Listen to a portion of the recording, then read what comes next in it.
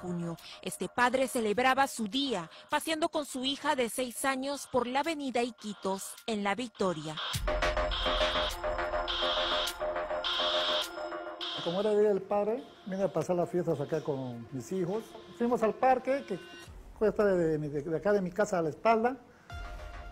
Estado como media hora en el parque. Y en ese lapso, yo le digo a mi hija, ya tenemos que regresar ya, porque era un domingo frío. Es cuando este padre y su pequeña hija estaban de regreso a casa que aparece un extraño sujeto con una preocupante actitud.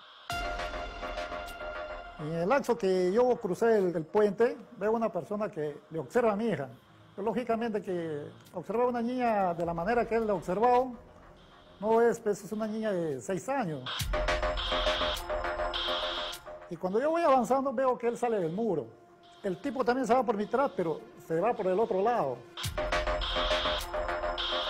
Este hombre ya los estaba siguiendo. Al cruzar la calle, el extraño sujeto acelera el paso con dirección al padre y a su hija. Yo pensaba que iba a cruzar. En el instante que yo volteo, veo que le alza a mi hija. Le alza y, y le alza con todo el scooter. pe. Mi hija es flaquita, seis años.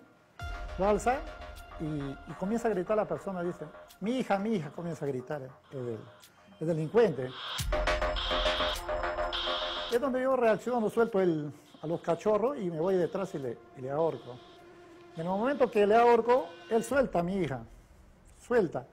Mi hija sale disparada, sale corriendo. La pequeña corre aterrorizada hacia una vecina para protegerse, mientras su padre se encuentra en medio de un enfrentamiento con este hombre. Yo lo agarro y le reduzco, le tumbo al piso y le comienzo a presionar la, la rodilla en la cara y, y golpearle ahí, pues. Ahora sigo ni 40 segundos viendo la camioneta. Se estaciona y sale un tipo con su arma y me apunta. Me dice, suéltalo, suéltalo, suéltalo. Yo al ver el arma, lógicamente, vi que mi vida estaba en peligro, le solté y le yo le increpo al, señor.